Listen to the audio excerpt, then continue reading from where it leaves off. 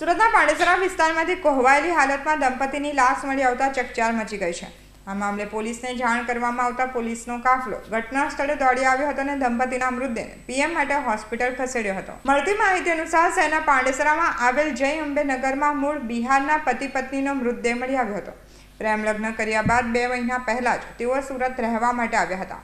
ત્યારે દંપતીનું કયા કારણોસર મોત થયું છે તે દિશામાં પોલીસે વધુ કાર્યવાહી હાથ ધરી છે.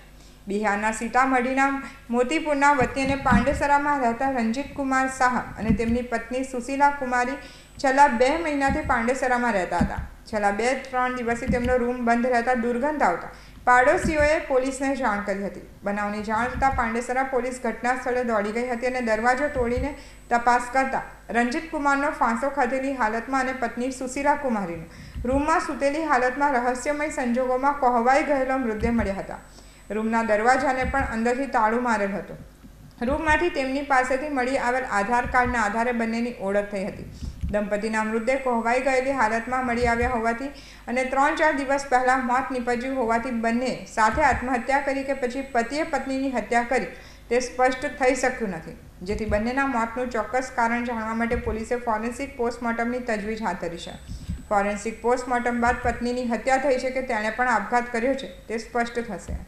हमारा नाम है चिंटू पांडे और इधर ये जय नगर सोसाइटी है, प्लॉट नंबर दो सौ अड़सठ। हम उनके, हमारे सामने घर के दो दिन से एक कमरा बंद था, उसमें से दुर्गंध आ रही थी। तो आजू बाजू वालों को बहुत दिक्कत हो रही थी। तो हम, उन्होंने सौ नंबर को कॉल किया आजू बाजू वालों ने कि बहुत दुर्गंध आ रही उन्होंने घर में जाके देखा। तो एक लेडीज़, एक जेंट्स थे, जेंट्स जो है फांसी लगा के लटका हुआ था और लेडीज़ नीचे लेटी हुई थी। फिर पुलिस आई, उन्होंने घर खोला, अपना कार्रवाई किया। बाकी के लोग जो भी थे, सहयोग किए पुलिस का उतारने में, नीचे उतारने में। ये दो, करीब समथिंग दो महीने, तीन महीने से इधर रहते थे, पर उनको सोसाइटी से कोई मतलब नहीं था। और सिर्फ़ अपने घर में आते थे, जाते थे आजू बाजू वालों से भी कोई मतलब नहीं रखते